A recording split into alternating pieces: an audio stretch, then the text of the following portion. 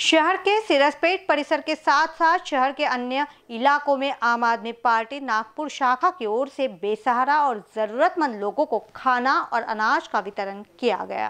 पूरे देश में लॉकडाउन होने का आज सोलहवा दिन है। देश के साथ साथ शहरों में भी लॉकडाउन हो चुका है, जिसके चलते लोग अब घरों से बाहर नहीं निकल रहे हैं। ऐसे में जो बेसहारा और जरूरतमंद लोग हैं, उन्हें खाने पीने की पूरी व्यवस्था, शहर के कुछ ऐसे स्वयंसेवी संस्थाएँ हैं, जो कर रहे हैं। इसी श्रृंखला में नागपुर के आम आदमी पार्टी शाखा की ओर से प्रतिदिन तीन हज़ार लोगों को दाल, चावल और अनाज का वितरण किया जा रहा है। शहर के रेशमबाग के अंतर्गत आने वाले सीरसपेट परिसर में आम आदमी पार्टी द्वारा खाना बांटा जा रहा है। शहर में लॉकडाउन होते लोग आप अपने घरों में, ऐसे में जो बेसहारा और जरूरतमंद लोग हैं उन्हें खाने खाने के लिए कुछ नहीं मिल रहा। ऐसे में शहर के कुछ स्वयंसेवी संस्था है जो उन तक पहुँच रहे हैं और उन्हें कच्चा और पक्का दोनों खाना दे रहे हैं। कहने का मतलब ये कि अनाज का वितरण भी कर रहे हैं। वही दाल, सब्ज़ी और जो जो खाने की जो चीज़ें वो उन्हें दिए जा रहे हैं। इस समय में ये तमाम लोग जो दिखाई दे रहे हैं, ये वही लोग हैं जो सुबह से निकलते हैं और दिन भर में इस तरह के इनके पास ये पैकिंग होती है और ये लोगों को बांट रहे हैं।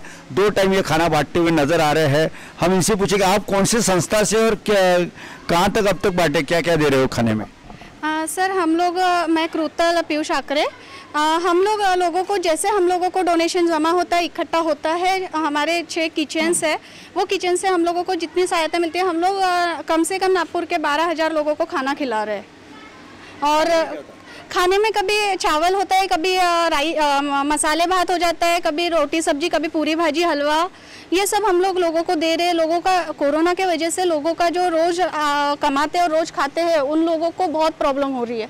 तो ऐसे लोगों तक हम लोग पहुँचने की कोशिश कर रहे हैं और हम लोग लोगों को खाना पहुँचा रहे हैं। बिल्कुल आप बताए कि कौन से संस्था के मार्फत खाना चल रहा है, ये क्या है?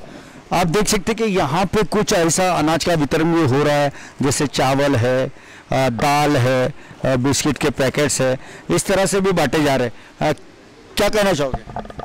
सर, मैं नागपुर गृह हमारे आम आदमी पार्टी युवा अध्यक्ष। सर, हमारे तरफ़ से कोरोना में जो भी महामारी हुई है, उसके उसके लिए हमारा रोज़ का खाना, रोज़ का हज़ार, दो हज़ार लोगों को सुबह हम खाना बांटने का काम चालू है।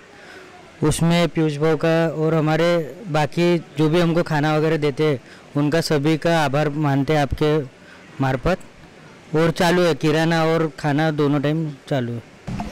देश इसीलिए सबसे भारत देश की तारीफ़ होती है क्योंकि भारत देश में कुछ ऐसे भी शहर है और शहर में कुछ ऐसे स्वयंसेवी संस्थाएँ ऐसे नौजवान साथी है जो भूखे पैसे जो लोग हैं बेसारा ज़रूरतमंद लोग हैं, उन तक खाना पहुँचा रहे हैं, यह सबसे अच्छी बात है। और यही आम आदमी पार्टी के तमाम कार्यकर्ता दिन रात इस काम पे, इस मिशन पे जुट चुके हैं और लोगों को खाना देते हुए नज़र आ रहे हैं। सीरसपेट से कैमरा पर्सन सुभाष बुटले के साथ Sanjay Mire in B news Nagpur.